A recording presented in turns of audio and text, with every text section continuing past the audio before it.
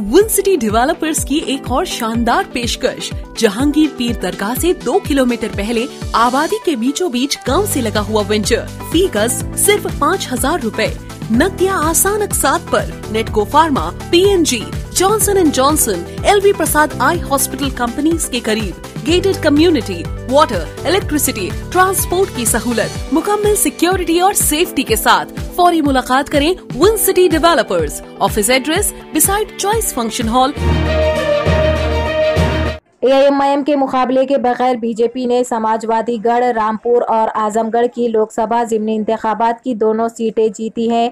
अब एआईएमआईएम पर रद्दमल ज़ाहिर करने वाले, अब बीजेपी के लिए एमआईएम पर तनखीद करने वाले जीत गए। अब किस पर इल्ज़ाम लगाते हैं?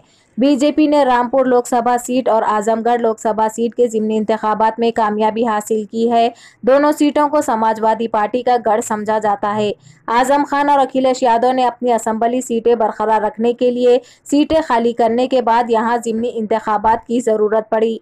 आजमगढ़ में आठ लाख वोटों की गिनती मुकम्मल होने के बाद बीजेपी, एसपी पर तेरह हज़ार की बढ़तरी बरकरार रखे हुए है। एक लाख वोटों की गिनती बाकी है। रामपुर में बीजेपी के घनश्याम लोधी ने बयालीस हज़ार वोटों के फ़र्क से कामयाबी हासिल की।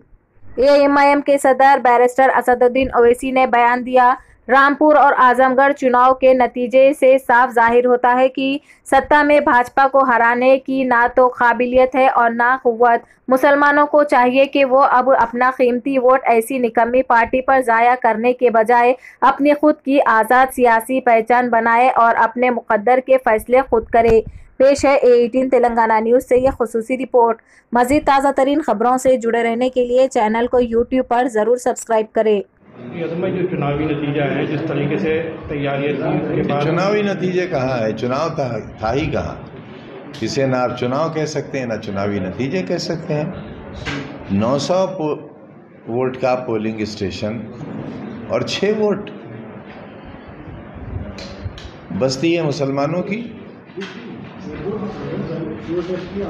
500 का पोलिंग, मोहल्ला है मुसलमानों का, एक वोट। जो उम्मीदें थी नतीजा अच्छा आने की इसके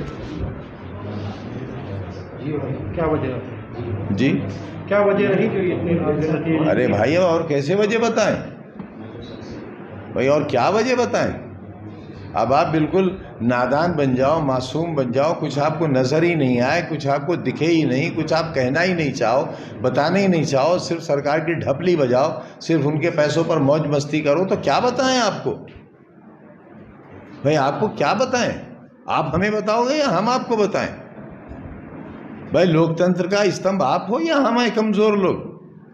आप बताएँगे हमें। तेईस तारीख को पोलिंग वाले दिन जिस तरीके से प्रशासन ने किया तो तो वो भी आप ही बताइए। हमने तो सहा है। जो सहा है वो बताइए आप। हमसे क्या पूछ रहे हो? भाई आप फिर क्या देख रहे हैं? आपकी ये चौथी आँख क्या देख रही है? जब आप ही को नहीं दिख रहा है तो हम तो पैदाइशी अंधे हैं। हमें क्या दिखेगा? और अंधों ने चश्मा भी लगा रखा है।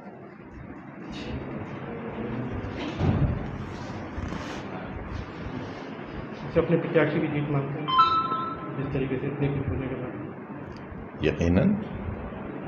यकीनन? हमारी अखलाकी जीत भी है सियासी जीत भी है।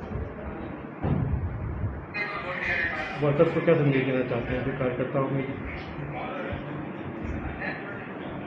घृणा का जवाब घृणा से न दें।